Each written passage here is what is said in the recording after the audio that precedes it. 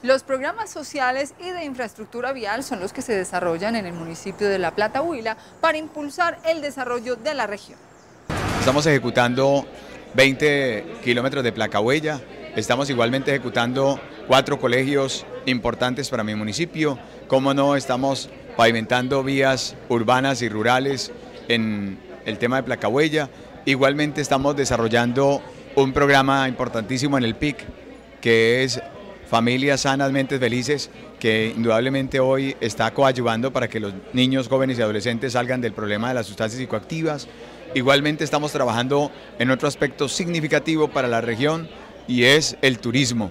Plasmado desde una región tan bonita como es La Plata, el turismo religioso con el beato Pedro María Ramírez Ramos, que está encaminado a ser santo en la visita reciente que hizo el Papa a nuestro país.